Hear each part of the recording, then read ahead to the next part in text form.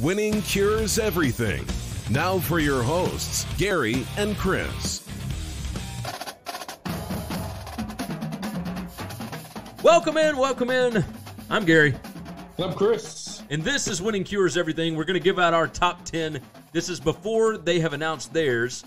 Uh, we're, we're dealing with NFL stuff and everything else. Uh, the College Football Playoff Committee has announced their top four. Uh, I think we are pretty similar on the top four.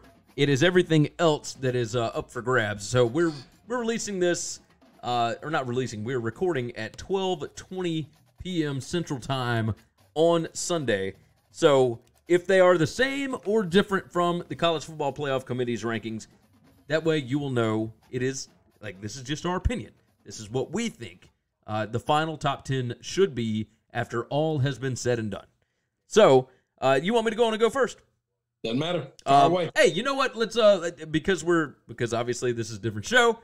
WinningCuresEverything.com, all of our picks, previews, podcasts, videos, social media platforms, etc. are over there. If you're watching on YouTube, hit that like button, hit that subscribe button for us, leave us some comments, tell us what you think the top 10 should be, who should be in that we left out, who should not be in that we have in, etc.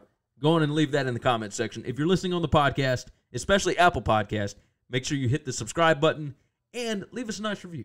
We always appreciate those. It helps us out with Apple's algorithm. That's always a good thing. It'll uh, it'll help support our community. We're trying to build this thing up a little more, so we would appreciate that if you would knock it out. SmackApparel.com is a sponsor on the show. Use promo code WIN. That's W I N, and you get 20% off of your order. They got awesome shirts from pro and college teams. Go check them out. They got some really fun stuff, really funny stuff as well. Um, and anything that's over forty dollars that you buy, uh, it, you can buy three T-shirts that are twenty bucks a piece. It's sixty bucks. You use the the twenty percent off coupon code, whatever. It'll drop down to what forty eight bucks or what whatever the math is. I don't know what it is, but if it's over forty dollars, it's going to ship for free, and you get twenty percent off. Get your Christmas shopping done. Knock that thing out. So, uh, SmackApparel.com. Use promo code WIN for a twenty percent discount on that.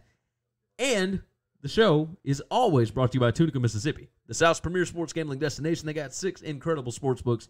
You can find more information on those, along with their in- incredible golf courses, their amazing steakhouses, uh, all the different stuff they got going on. They got a bunch of concerts, everything else. It's always a good time when you go down there. Go to tunicatravel.com to get more information on those. Let's go ahead and jump in the top 10. I'm going to go in and give mine, and then Chris will give his. And we might argue a little bit, maybe not. We'll see. Number one for me, LSU is what it is. I think it speaks for itself. Oh, I've got Clemson at number two. I think Clemson is better than Ohio State. So I've got Ohio State third. I've got Oklahoma fourth. So I think that's about what the committee's got. The committee's got Ohio State two, whatever. Uh, now we get into the other stuff. I've got Georgia at five. I've got Florida at six. I've got Baylor at seven. I've got all, uh, Alabama eight, sorry, Oregon nine, and Penn State ten. Now, you could convince me to have Wisconsin at ten over Penn State. I'm not going to make that change though. I think Penn State would probably beat Wisconsin. I don't have a good reason for it. I just think that's what would happen. I've got no good reason there. I can't do the. I think this team would beat that team. By the way, for um, uh, rankings, is because if we were going to do that, I fully believe that Alabama is the fourth best team in the country. But Yeah, I don't. but resume doesn't hold there. It, I They understand. don't deserve to be there, which is why I just refuse to say this team's better than that team. So I'm doing that. I just have to. I just have to look at resumes. I haven't always been the most consistent when you get to the middle sometimes, because every now and then I'll nudge another team, but it just has to be the number one over overwhelming criteria. Yeah, that makes sense. Makes sense. Uh, I, I do have Georgia over Florida. Like one of the things about this, why I can't, I can't necessarily put a team that beat another team over another team. Like I almost wanted to put Florida here, but you know, with, with Alabama and Auburn, like I still think Alabama is the better football team, even though Auburn won the game. Right, it, like the way that the game played out, the way that the stats worked, all that kind of mess. I still think Alabama is a better team. Uh, you look at, you know, Penn State, Minnesota, maybe like I, Minnesota maybe better. Like they were at home, they got some turnover luck, all that. I understand where you're coming from. You can- but they dominate the football game. I'm I'm with you. I'm with you. I like I think Hang on. Penn State, Minnesota is not Alabama Auburn. That was a back and forth football game Yeah. all day long. Minnesota never trailed and dominated the game the entire game. Penn State was coming like fighting like hell to try to come back to make it look close. Hey, by the way, uh Broncos seven nothing already. So Pass All the right. ticket, boys. go go ahead and uh and give me your top ten here. Like it or not, this is this is what I got. It's mostly all based on resume and what I think uh, of these teams. All right, I got LSU one, Ohio State two, Clemson three, Oklahoma four. I don't think that there's any discrepancy there. I got Oregon fifth.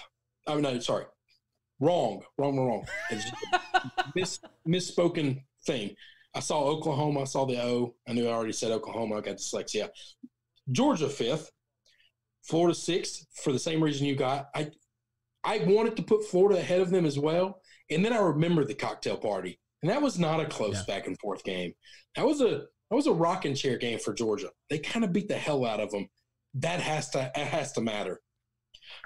Seventh, I've got Baylor. I think their only loss is to Oklahoma, and I think their schedule. People want to point out their non-conference schedule, and it always pisses me off when say, say people like look at a certain part of the schedule. I think the only times people parse out sections of the schedule is when they're trying to make stats lie, and that bothers me. I want to look at the entire. We have the entire schedule in front of us. I don't. I don't think it's okay to say, "Look at these three games right here. They should have hurt them." No, no. You, you, now we have the whole thing in front of us. We have to look at it all. Yeah. You agree or disagree? Uh, no, I agree with you. I Okay. like. I, I find it funny that so many people, uh, after Oregon beats Utah, Yeah. and they are all pointing to, well, see, like Oregon should have been smarter. You shouldn't have scheduled Auburn. Like No, you shouldn't have No. lost to Arizona State. that's that's where it is. You shouldn't have lost to Arizona State. Like you should be playing Auburn. These teams should be playing good teams.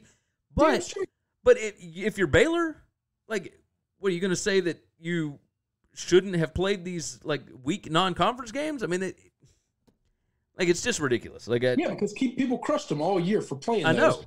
But it, but they, it, they they've got still played Texas. They still played Yeah. Oklahoma State. They still played Kansas. They still play. Or and now they're State. eleven and two, and they're probably going to be in the Cotton Bowl. Yeah, they're good. All right, so eight. I'll get back to it. Eight. I got Auburn.